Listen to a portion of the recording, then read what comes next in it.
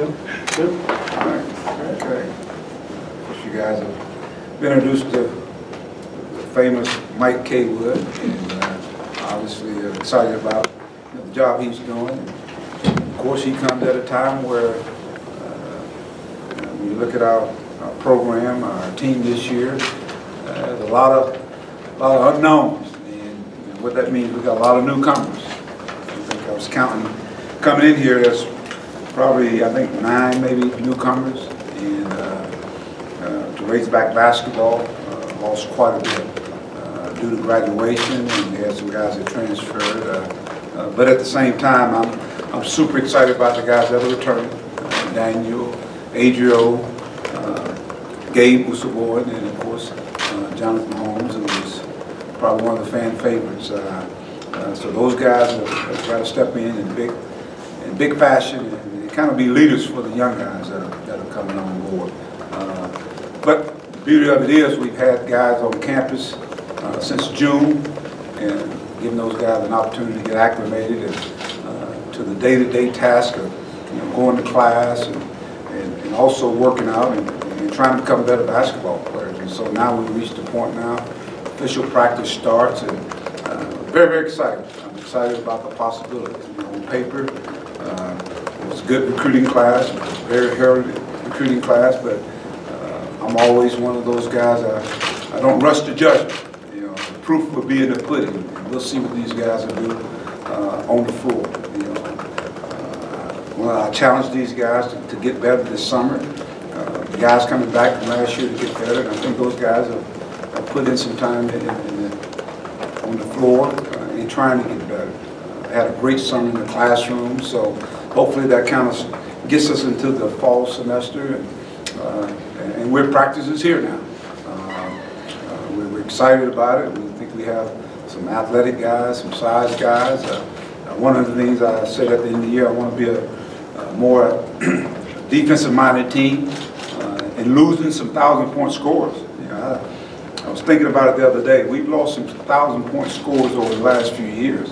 When you think about Dustin Hannahs, when you think about uh, Anton Beard, when you think about Moses Kingsley, uh, then, of course, we had two guys in the same game last year uh, uh, reached that plateau. So, you know, how do you replace that? Uh, uh, Obviously, we have some guys that we got to start off with, you know, this, the centerpiece with a guy like Danny Gafford, but we've got to have some of these young guys to, to come up and step up for us. Uh, Guys such as Mason Jones, just came from junior college, had a year on his belt. Uh, I think the big key is going to be our team is going to be a guy like Jalen Harris, uh, better known as J5. He's one of those guys that set out last year and got a chance to go against Daryl Macon and, and Jaylen Barford. And, and by the way, I hope you guys have noticed that those guys are on rosters and they're, they're doing well.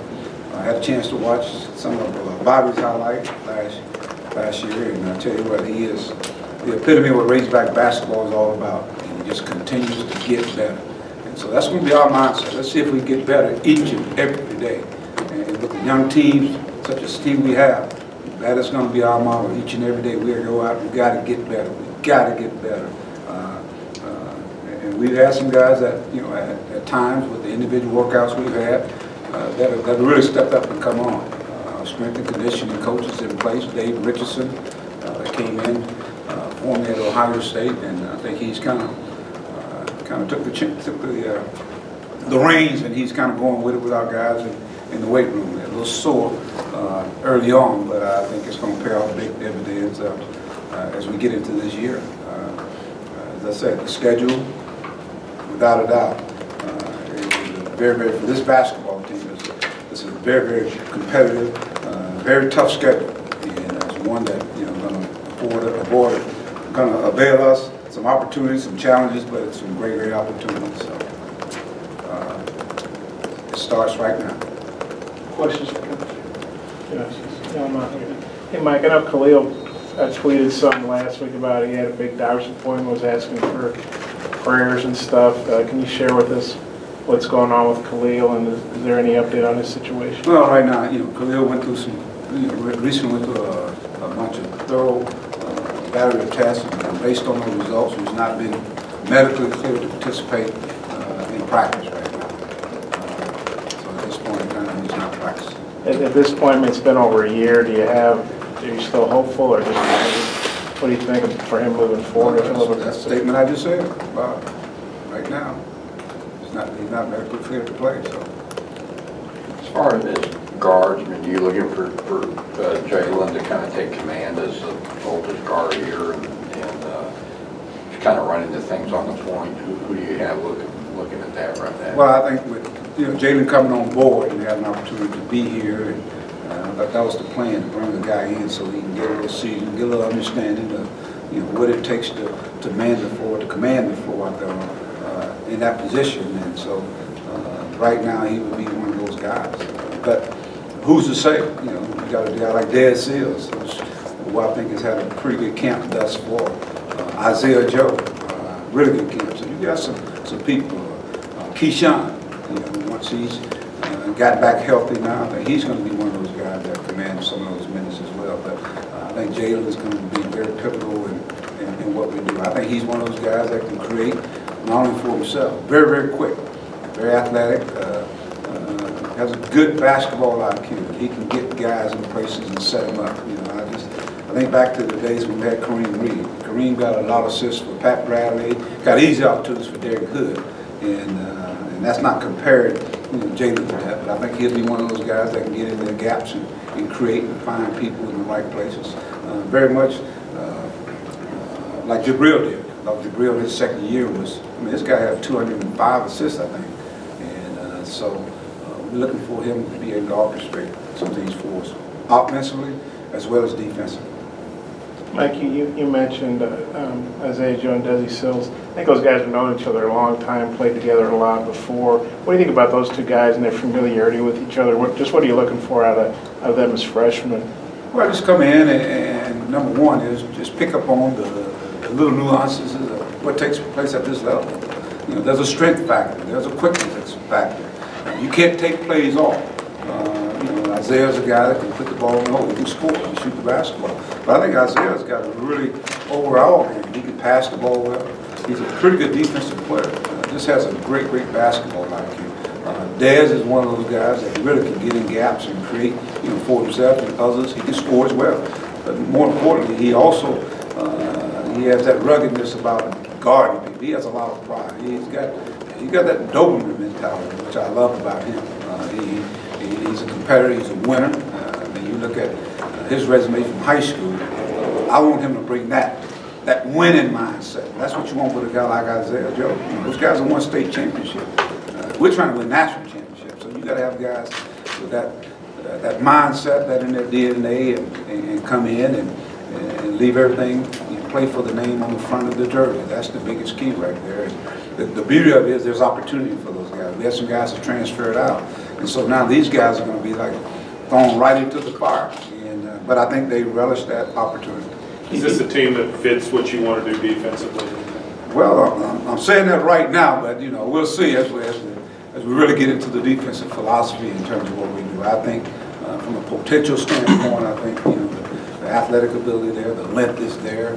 Uh, uh, I want to see if the toughness will be toughness to me is, you know, when, uh, when you don't play 35 minutes and you got you got to dig into the tape. You know, can you have a mindset of getting five stops?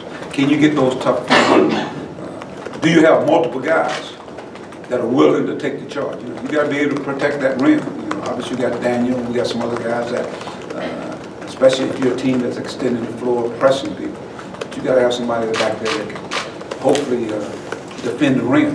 So that comes in a lot of different ways, whether it be taking charges, whether it be coming from behind, hunting the ball. So I just want a team that's going to be a kamikaze, just get after it, and be more than two or three or four guys. And, and I'm hoping, that's my mindset, is that we're going to have a team that's going to really uh, defend, they're going to fight, they're going to compete each and every night out. Mike, you've had guards that have not always had a lot of size, but you had, it- or on the wings even, you had Khalil Garland, Darious Hall in the previous class. This year you got six five in Mason Jones, six five in Isaiah Joe, six seven in Jordan Phillips. So I want to know, is this going to be a better team defensively on the perimeter with more length and athleticism? And what kind of versatility and matchup problems can that cause? Follow-up question to that is Jordan Phillips, is he full go? Is he cleared medically? full He hadn't uh, finished up yet. He had a a meniscus uh, tear, uh, repair had. So he's still rehabbing that and hopefully get him back here in the next month and a half or so. Uh, Jordan Phillips, that is. Uh, when you talk about the other guys, those are question marks. I talk about question marks, you know. I can sit here and say, yeah, they're gonna be defensively, uh, we should be better, but, you know, until we go through practice each and every day, we'll, we'll find out. And really, you know, things we worked on this summer is more skill development, and we did some team things. but Now, we get really, we dive right into it now. You know, the offensive side. This morning, we had a six AM workout where we had, we're teaching, we're teaching about offensive sets and things of that nature. And as we get those in, then we'll really uh, work on our defense uh, this afternoon and throughout the week. And and I'll get a better feel of where we are defensively. uh, uh, But you gotta connect them all together. It's, defense is not just, I'm guarding you, he just guarding him. It's gotta be help side, it's gotta be two passes away, three passes away. When the trap takes place, the rotation, it takes time, it takes time. You know, I always say it's like an artist putting paint on a canvas, I say this every year. And what you gotta do is you gotta, you know, with this group here, I'm having to teach more. You know, normally you go and just clean it up and get better at the things that you want to do. And, uh, and with this team here, uh, there's a lot of teaching, so there'll be a lot of times we, we'll slow it down in order to get them to, to speed up. But I want us to be one of the more exciting, faster, te- I, I think it's gonna be an exciting team, I really, really do. Uh, we got guys can run the floor, we got guys that versatile, can play many, many different spots. So that, uh, allude to your question, defensive as well. You know, uh, a guy like Jordan, he can guard a guard, he can guard a forward. Reggie Chaney, when the switches occur. And we're seeing more and more of that take place in basketball. And you gotta, you gotta have versatility. You gotta have guys that are versatile parts. And so uh, our bench should be the strength of this basketball team. Obviously, when you got like, a guy like Daniel, uh, a guy that hopefully he's a guy that's capable of getting you a double-double each and every night. Uh, so we're gonna, gonna lean on him to do some of those things. Adrio's experience really comes in hand. Uh, Gabe was boy. We saw what Gabe was capable of doing. I think Reggie Chaney's going to be an outstanding player here. I think he's to have a tremendous, tremendous career here uh, uh, in, in a Razorback uniform. Uh, Keyshawn Embery. I mean, you keep naming names, course, they hadn't put that Razorback uniform on, but uh, you guys get a chance to see a little bit of them today. But more importantly, it's, it's not where they start, it's where they're going to finish at. And uh, uh, I think each and every day they come in, they, they wear the hard hats, they- they're working extremely hard, and uh, they're very, very coachable kids. They're very, very coachable. And I think, uh, with that being said, I think they're, uh, they're going to end up being a really good basketball team. Mike, with Sills and Joe, do you see any, like a little bit of chemistry between them that normally newcomers wouldn't have because they know each other so well? This is Isaiah. and- Yeah, it's- yeah, yeah. I think there's a familiarity. I, I think it is. And, uh, and you can sense that. Uh, I think he knows where, uh, especially Dez is. He's a guy that can really penetrate in the open floor. He's really, really good. And uh, I think he can find Isaiah spotting up or, or vice versa. Uh, so that, that uh, hopefully that helps in the process. How much growth have those incoming forwards gotten, you know, in these individual workouts you've been able to? I think they, they, they've kind of had their eyes open up. A guy like Ethan here in the last two weeks, he's really starting to show that he can help contribute uh, for the most part. Uh, I mean, there, there are days when they just, I mean, they, they just eat him alive. And, uh, but here recently, I mean, he's starting to now uh, be much more competitive. And uh, that's, whe- whether it be Daniel, whether it be Reggie, whether it be Gabe, it doesn't matter. So these guys are starting to compete and starting to pick up on some things. And I even see them uh, kind of expediting that process once we get to practice. Once you get to practice, man, things kind of pick up a whole lot more because you're getting closer now where uh, within a month, we're going to be probably playing a red-white game with officials and things of that nature. Then you're going to play an exhibition game, and you ain't going to be able to play all of them. So right now, they're in that uh, situation right now. They're trying to show us, the coaches staff, you know, who are the guys that should uh, deem all this playing time that's available. And there's plenty of playing time available. What difference does it make to have Daniel return to the program, and how do you utilize him? Uh, you know, Daniel had an extraordinary year. We, we saw that. Uh, But now you go from being a guy that was, you know, one of the guys that they didn't really uh, game plan for, but now they're gonna have to. And, uh, and we saw going down the stretch, people really targeted him. They, they, they doubled up on him, they made it real tough, got real physical with him. So one of his charges this summer was to get a little stronger, get a bigger base, get some more go-to moves in there.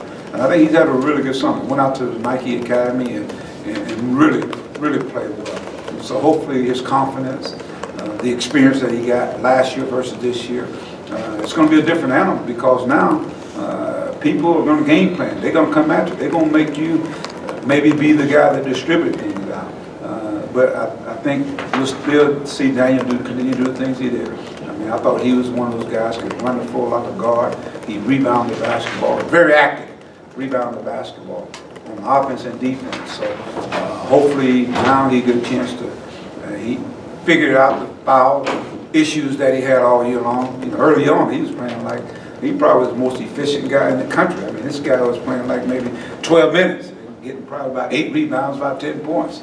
And then he figured it out, and, and and of course his minutes coming up. So uh, we just got to have a guy that's going to be a, give us a presence, whether it be in the post, whether it be in the screen and roll situation.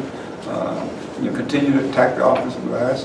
Uh, got to shoot free throws better. He's going to get fouled a lot this year. So we uh, we're going to make sure that you know that, that a lot of things go through Daniel. You talked about Reggie Chaney and watching him in the, in the uh, shoe, shoe circuits. Seems like a guy that can bring some offense at the four spot, something y'all haven't always had. How does that help Dan Gafford to have another presence inside if it's Chaney uh, that can find ways to score the ball? Now, Reggie's a skill forward. I think uh, you know, his confidence is, is something that kind of eludes. I mean, he is kind of soared. Uh, he's a pretty distributor with the basketball. Uh, defensively, I think he got a chance to be a really good player. Uh, has a long wingspan. I mean, you uh, if you recall Moses with long wingspan, I think this guy got one of those wingspans uh, very similar to that. So, uh, but very, very athletic, very quick. Uh, can step away from the basket. So he gives us a, uh, hopefully in that position where you know it's a tough matchup for people because he can step out and shoot it and he can get it inside, but uh, he also can go inside as well. And I think he's going to be a tremendous open court player. Gabe did a lot of the blue collar things for you last year. What kind of transformation has he had throughout the summer? I- I, you know, I think Gabe, uh, hopefully, op- has sees the opportunity to, to to get more minutes. I thought the minutes that he played for was very, very effective. Uh, uh, Now, hopefully, the game can slow down for him even more as he gets, gets an opportunity to play more. Uh, But I think he's one of those guys that uh, is in the trenches, going to do all the little dirty work. And you think about a guy like Coty Clarke. Cody was really, really big for us. Uh, Even a guy like McCoy, they do all the little things that add up to be big things. Gabe is one of those guys that's six eight. I mean, very, very versatile. Uh, He can get it and go coast to coast. I just got to make sure he understands. Sometimes you got to pass on up the floor as opposed to dribbling it up the floor.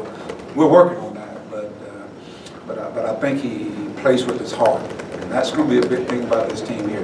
They're going to have to play with a lot of heart, you know, to, to make up for the, you know, people going to say the inexperience. And the only way to make up for that is that, you know, uh, how hard you play, how hard you compete. Uh, You got to play together. You got to be the ultimate team. Mike, how would you feel about the team's conditioning overall? Who, who are the best guys running Cleveland Hill? Uh, the Cleveland Hill, I think it was Dez and uh, Isaiah, funny you had mentioned that. Uh, Those guys, uh, they were the guys that uh, finished, uh, did not even stop running. And so that, that was pretty impressive. They've had a pretty good camp up until this point. You know, our conditioning was, uh, I thought they did a pretty good job. You know, and the, the difference in this year now is that, you know, to me, the conditioning takes place whenever they're on the floor. You know, you have eight weeks in the summer that you can work with these guys. And then, of course, when they came back from the fall, uh, we've been going at it, you know, four hours of individual workouts that you can do, and plus the weight room. So they, they I think they're in pretty decent shape. Uh, I'm gonna find out real quick how, what kind of shape they're in this afternoon. Last one here, Scott? Yeah, I guess with the guards you've got, do you feel comfortable that they'll be able to, to, to, produce enough to be able to space the floor for Daniel, for Reggie, for an Adrian to, to be able to play inside? Well, you know, that's something, our coaches and I, we, we talked about it at length. You know, we have guys that can extend the floor. We, you know, when you have guys like Barford and you have, a guy like Macon, uh, uh, along with Anton Beard, you know, people had to honor him because he could shoot the basketball. Uh, you know, do these guards command that same respect? Because obviously they're going to try to pack it in their own. And so a guy like Mason, he's got to be able uh, to knock shots and create shots. Uh, I think we do have guys that uh, that can shoot. We'll find out, you know, more as we go, and that's what the practice to me are, are really geared toward. Find those guys that can be knockdown shooters. Who, who are those guys going to be uh, when it's clutch time? Who, who's going to be that guy? Uh, but uh, I, I feel we do, but, you know, I, I think that's something that we've got work on and, and create, uh, in a team setting. And, uh, find out, you know, our tendencies, uh, who are gonna be those guys. You know, hopefully we can have a, a core in each and every year. We always talk about having that core, eight to nine guys. And, uh, right now, it's wide open. It's wide open in terms of who are gonna be those guys that are gonna start for this basketball team. And that, that excites me because now we can shape this team how we want it to be. And we want to be one of the better defensive team we've had since we've been here. Thank you. All right.